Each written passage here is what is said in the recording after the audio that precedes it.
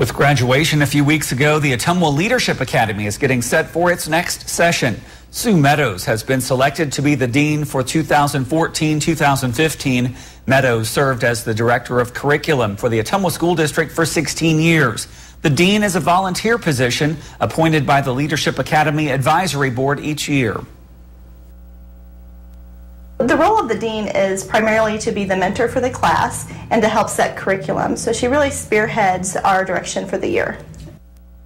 The Leadership Academy is now accepting applications for its next class. Applicants must live in Wapello County and need to submit their application by July 31st. New this year is a scholarship opportunity for those applying for applying from a nonprofit or a small business. We've put a link to the Leadership Academy application on heartlandconnection.com.